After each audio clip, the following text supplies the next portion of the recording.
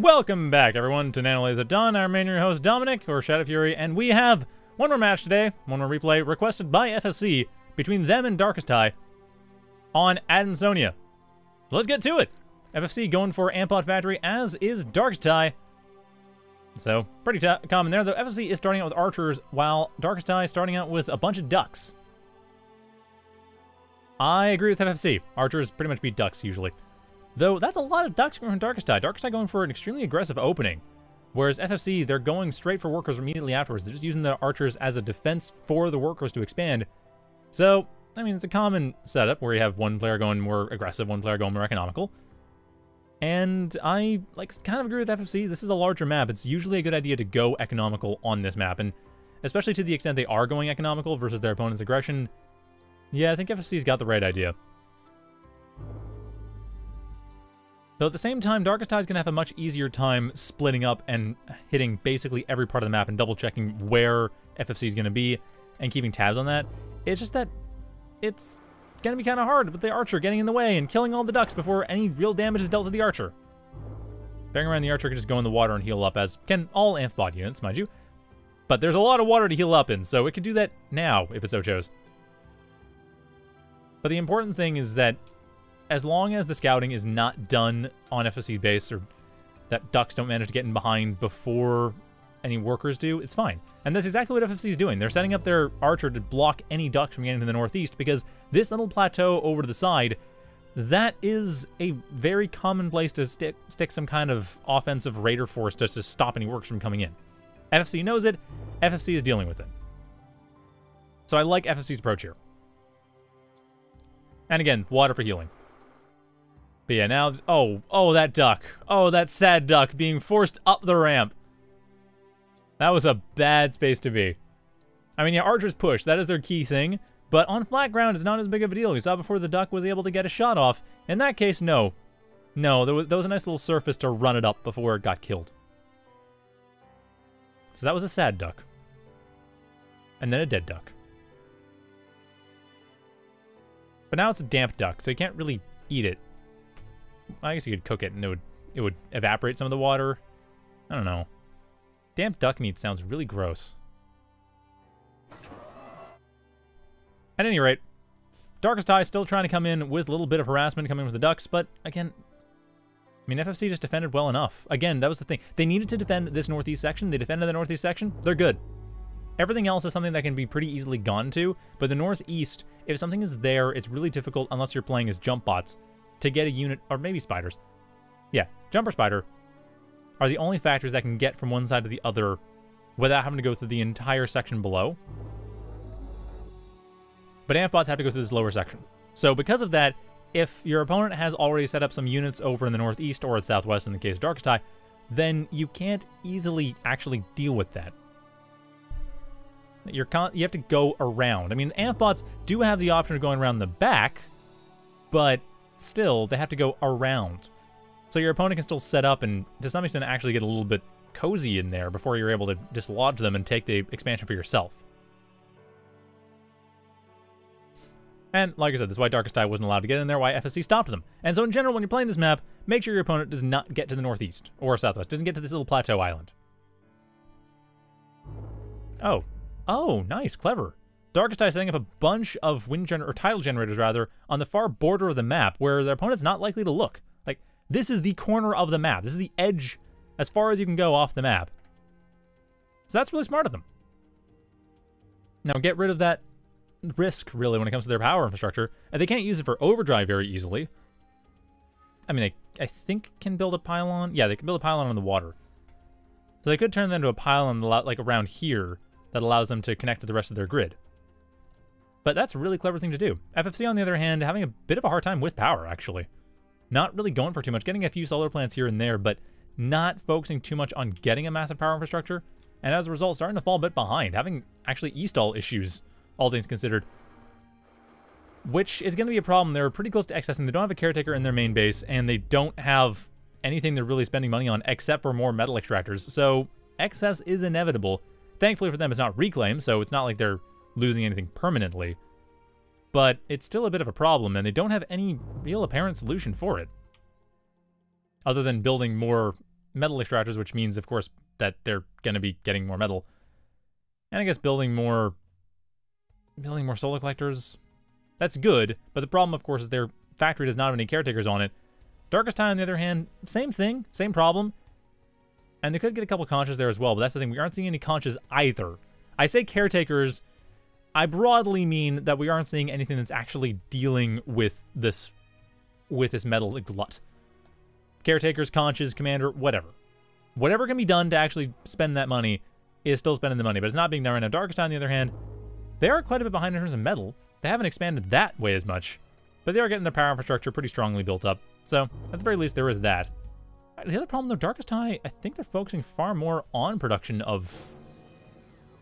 Okay, what's their unit production right? No, no priority. Double checking the priorities in both cases, because oftentimes players will set their factory to low priority so that they're prioritizing the unit, the construction of of economy, and looks like no. Or the commander on high priority, but again, no, that's doesn't seem to be happening. Nope, just Darkesthai simply doesn't have as much metal, and they're trying to spend on a lot of different projects across the map. So that does limit things. Nice little harassment, though. The duck was was just going around the side. Darkesthai trying to find out if FFC had built a bunch of metal or a bunch of wind generators along the north side of the map before going into harass. And I don't think FFC was aware of that at all, actually. No, there's no way they could have been. They had no, they had no radar over there. Or the units that were in the water. So no, FFC probably has no idea that all these wind generators are being constructed. And probably what will happen is they'll get into Darkesthai's base and wonder, where the heck is that energy coming from? I broke their energy. But I don't know. I mean, that's of course assuming that there's a pylon or something to connect the grids. And there's no reason necessarily to believe there will be, and there's no reason for FFC to actually go to the south side of the map and just take out all these wind generators.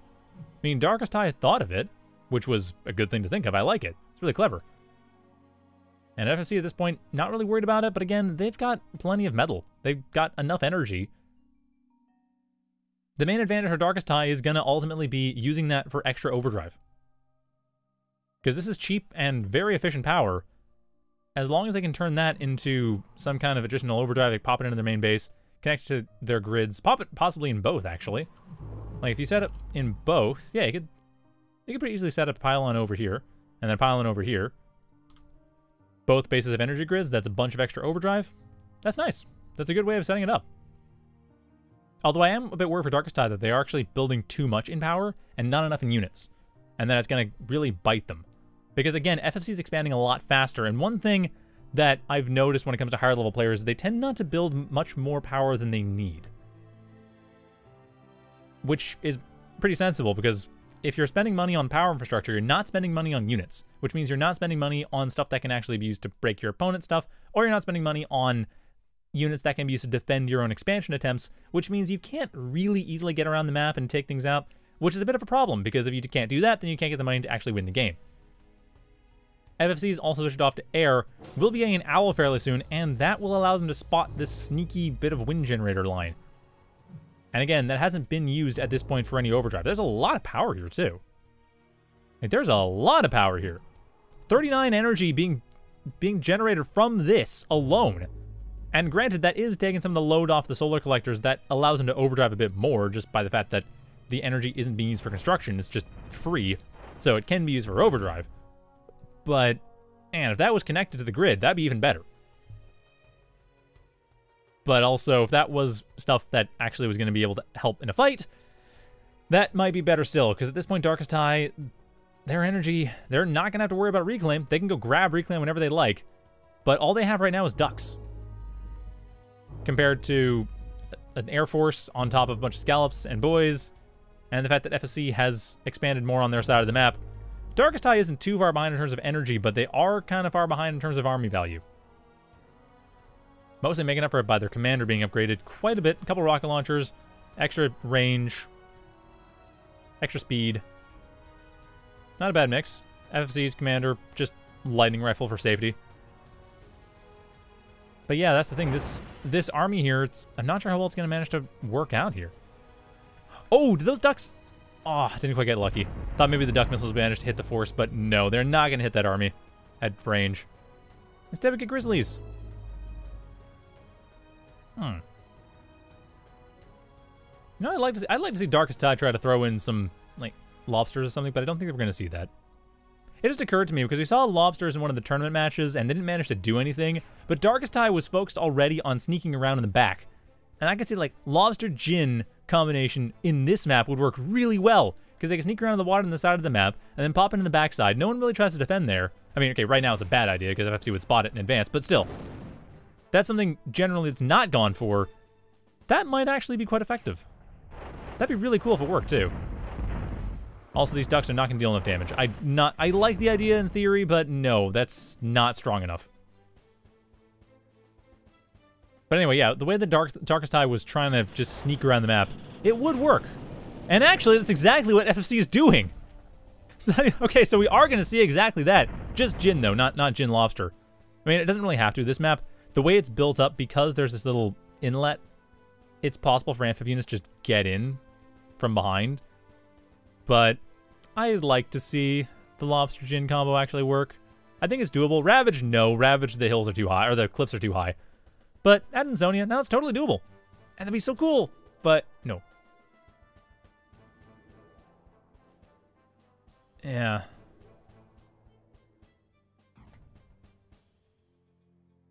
Actually, kind of surprising. Yeah, point, people pointing out that this is interesting. That this is seems like a stomp because Darkesthai has much has a smaller army or something. But I don't know. I mean, it's it seems even. What are the army values right now?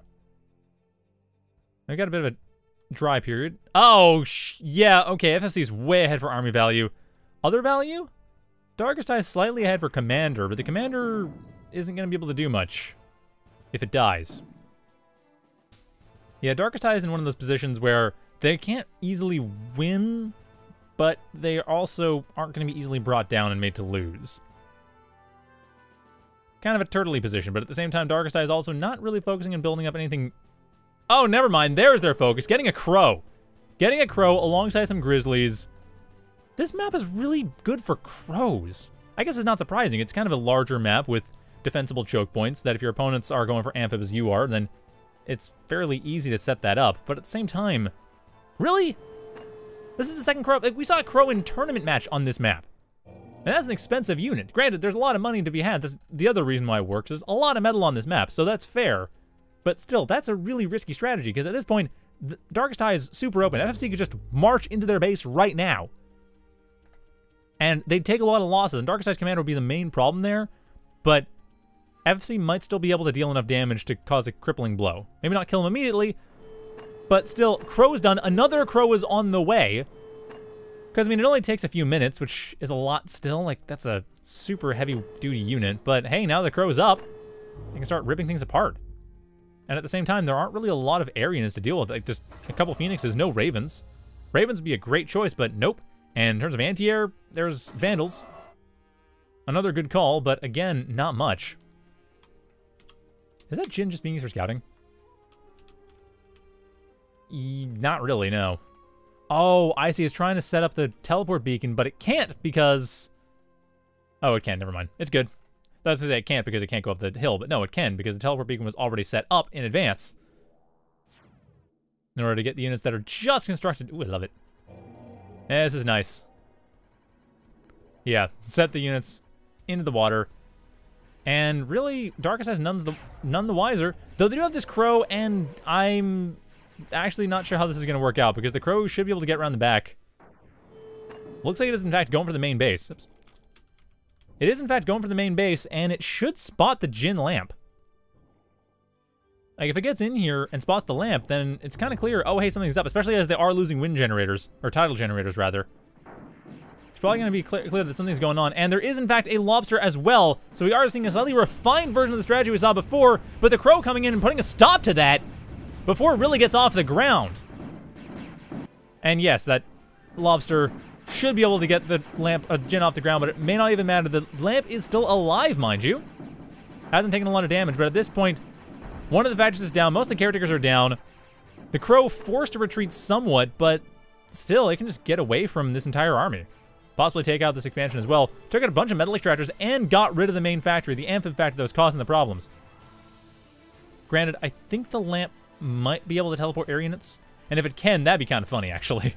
Just teleport a Phoenix right into the back lines. That would be amazing. Oh, can you do that? Please do that. Oh, that, ah, no. It's not even trying.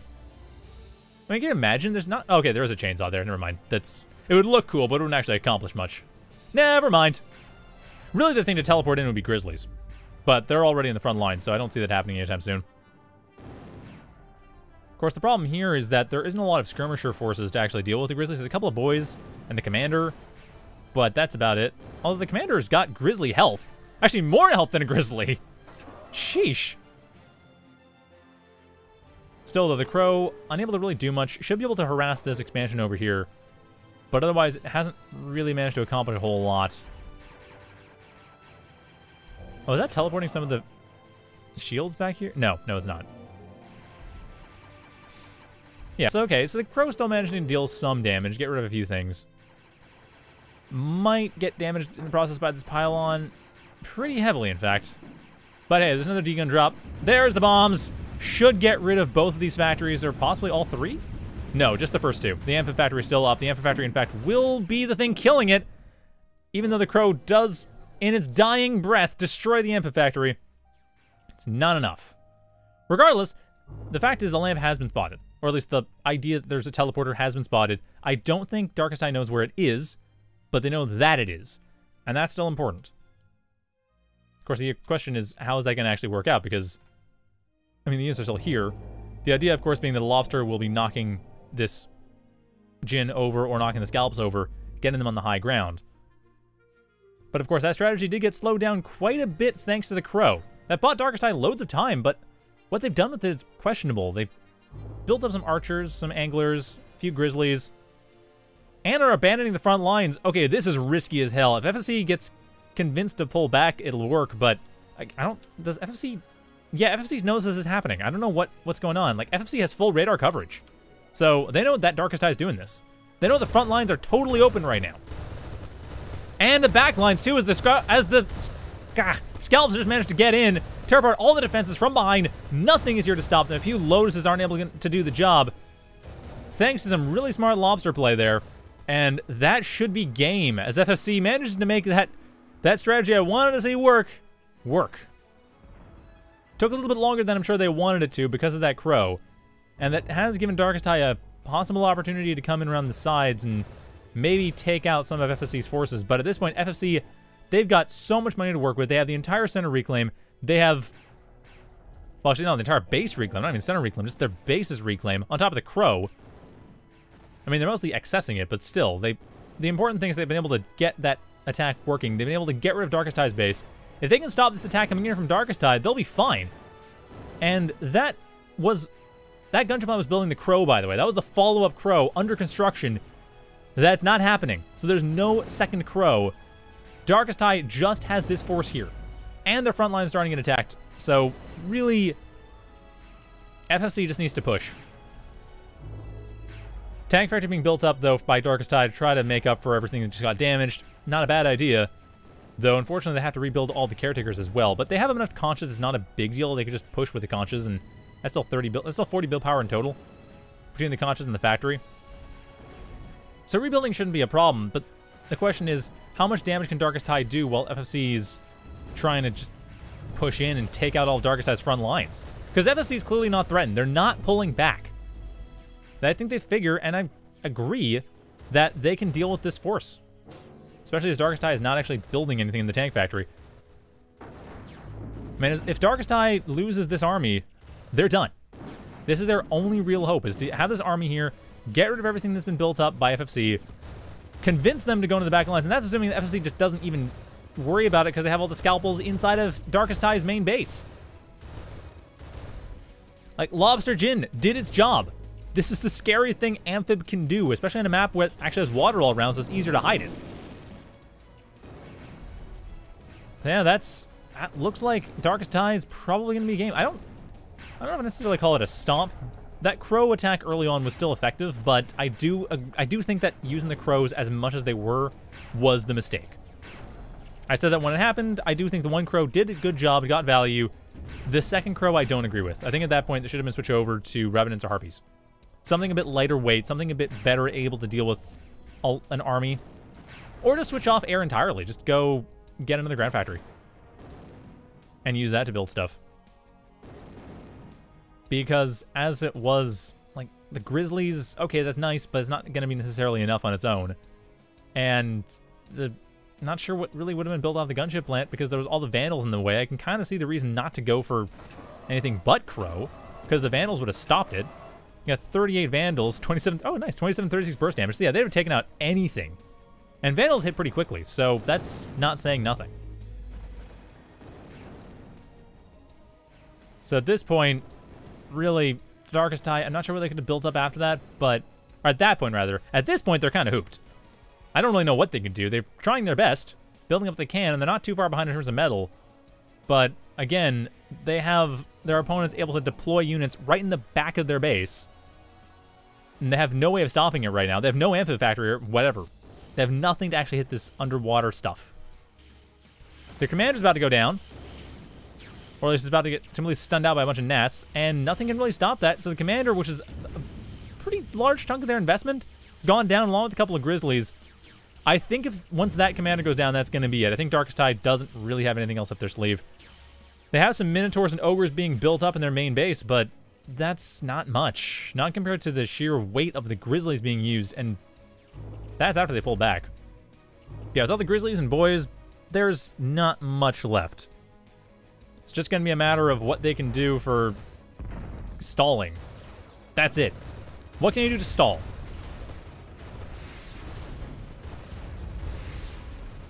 Hmm.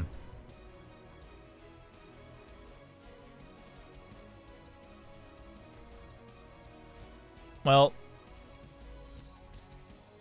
Wait, is... What? Oh, yeah, that's... People talking in chat about how what they could have done with the lamp or use it in the mid. It's like, no, that worked fine. Getting rid of the factories wasn't a bad idea. Actually, getting rid of the factories did buy some time. The problem was that the lamp wasn't hit afterwards. If the lamp had been hit, then Darkesthai would have been fine. Because at that point, the lobster wasn't in the in the sea behind the base. But it's too late now. It's just that when the Krow came in, if the Krow had focused on the lamp and gotten rid of it along with the factory and not really worried about anything else, it would have been fine. Because they got rid of the factory, they got rid of the caretakers, they slowed down FFC by a couple minutes. That would have been enough time for Darkesthai to get rid of this lamp, get rid of a bunch of the forces coming in, and then pivot over to the front line, get rid of the armies when there was nothing really to rebuild them. So this case actually was a case where destroying the factory wasn't a bad idea. It's just there wasn't the follow-up for it in terms of getting rid of the units and completely securing the center of the map that would allow Darkesthai to push forward, especially with either additional Krows or with additional lighter weight units. Something else. Maybe get the tank factory early on and use that to build up emissaries or something. But no, that's not happening now. Now is just the desperate attempt to get rid of the Grizzlies using Ogres, which I call desperate for a reason, because I don't have much confidence that this is going to work, especially not with all the buoys coming in here to deal with everything else. I'm sure the Minotaurs are going to take a while to go down, especially with the Caretakers just doing all their work. But the problem now is, of course, the Caretakers aren't helping the factory, which means that it's building much slower than it would otherwise be, and yeah, it, it really is coming down to this Minotaur, which is still taking too much damage. So that's that's going to be it. Darkesthai, valiant effort, but FFC being super clever with the strategy with the Djinn. And ultimately, while Darkesthai did manage to do some damage to the Krow, it didn't do enough, especially not in getting rid of the really key thing being the lamp. And I think part of that is that people don't use Djinn very often. So that's the thing. It's... Oh, Lamp can be placed literally anywhere from literally anywhere? Really? I thought the lamp had to be placed where the Djinn was at any point in space. Well, if that's the case, then never mind. The lamp being destroyed would have meant nothing. My bad. I mean, it was still still bought some time. But yeah, if the lamp can just be placed arbitrarily on the map, then no. I thought the lamp had to be placed where the Djinn was, and then the Djinn had to walk to where they would end up teleporting to.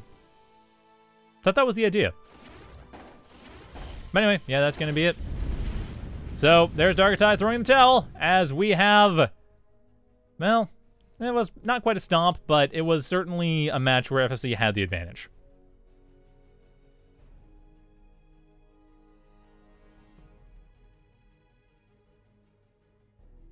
But yeah, that was... Wait, really? That... Whoops. Oh yeah. Wow. Darkest being a bit of a poor sport. Alright.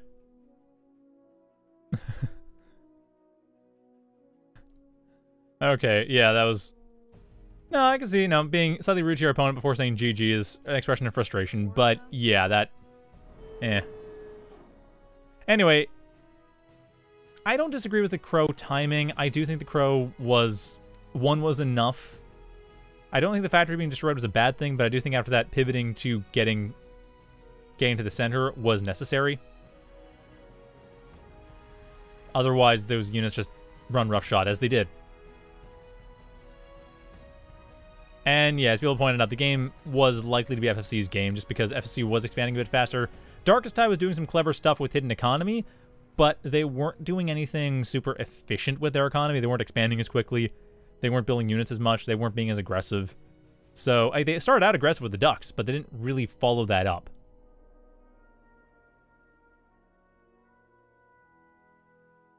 Anyway, that's going to be that. So thanks for watching. Also, if people are wondering, okay, Steel Blue, that may be a problem in some maps. That's actually one of the things I don't really like about Adansonia in particular, is that that is a problem with Adansonia. It is really easy on this map to know what, who's going to win within the first couple minutes.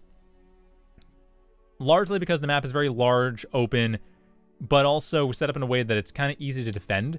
So there's this one little center front line that gets built up, and there's not a whole lot of room to easily get around and be sneaky. Most of it being covered in water. I mean, early versions of Adansonia were worse because they didn't have this side bit. But even this one, it's still a map where if you win the, the econ game early on, you've probably got the game. There's a lot of theoretical room for sneaky tactics going around the sides and such. It's just those tend not to pan out. Well, I mean, okay, I guess Darkesthai could have managed to pull that off and make something happen, but no, that probably wouldn't have happened. I mean, if it did, then the front line would have been would have suffered, and that's just I don't know. It's one of the things with this map because I guess because the front line is so small compared to a lot of other maps. So no, this map has a tendency to just not be all that tense, honestly. Anyway, so yeah, that is going to be it. So at some point, probably today, I'll be recording the answers to the question and answer video thing but yeah, you want to ask questions, the video, the question request video, the announcement video is still up on YouTube. I mean, it still will be. I'll just mention like, okay, questions are over or something when I'm done. And yeah, deal with that. But yeah, thanks for watching and have a good night, everyone.